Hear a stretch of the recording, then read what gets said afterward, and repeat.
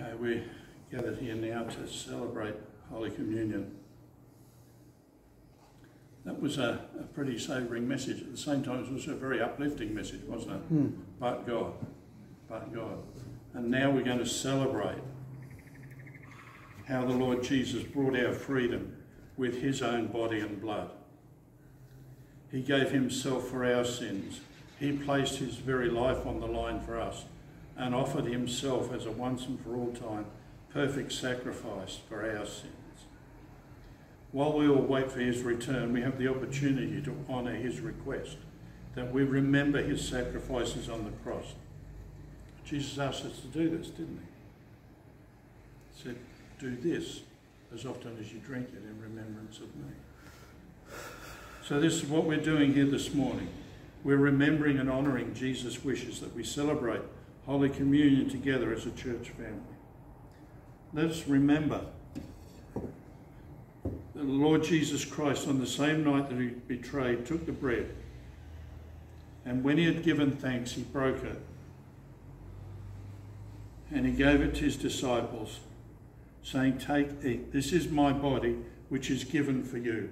Do this in remembrance of me. Likewise, after the supper, he took the cup. And when he had given thanks, he gave it to them, saying, Drink you all of this, for this is my blood of the New Testament, which is shed for you and for many, mm. for the remission of sins. Do this as often as you drink it, in remembrance of me. Do this in remembrance. Okay, would you like to come down and collect the bread and the cups? Thanks.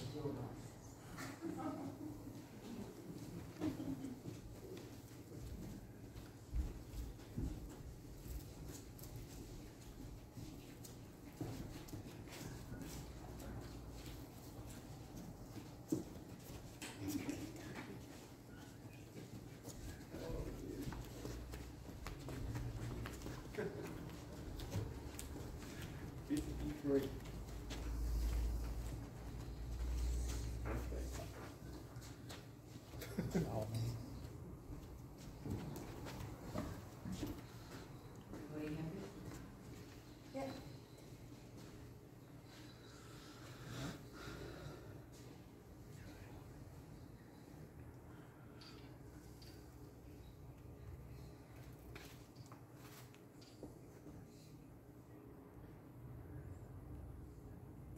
Let's take the bread. And let's do what he, Jesus asked us to do. Let's remember. This bread represents the body of Christ, the bread of life himself. Let's eat together.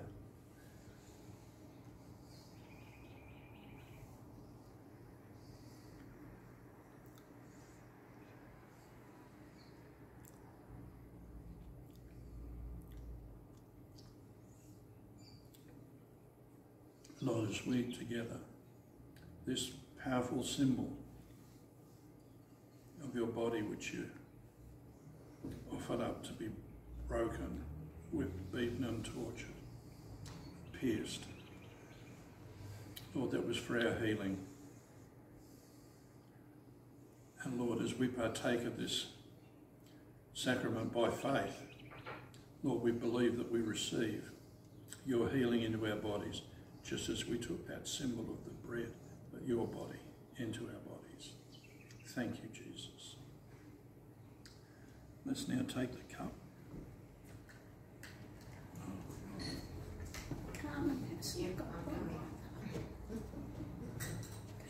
Yes. You're taking my job. Yes. Too slow. You did.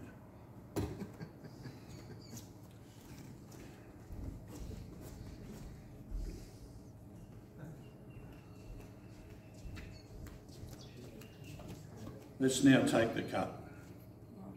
Oh,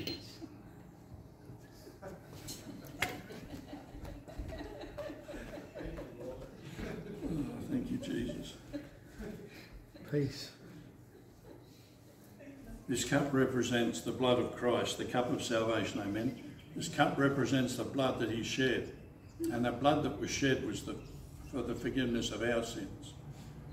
Let's drink together.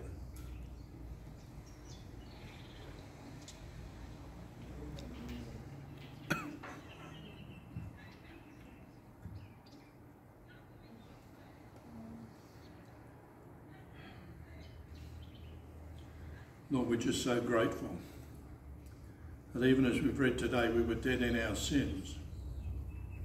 But God, Amen. excuse me, but you intervened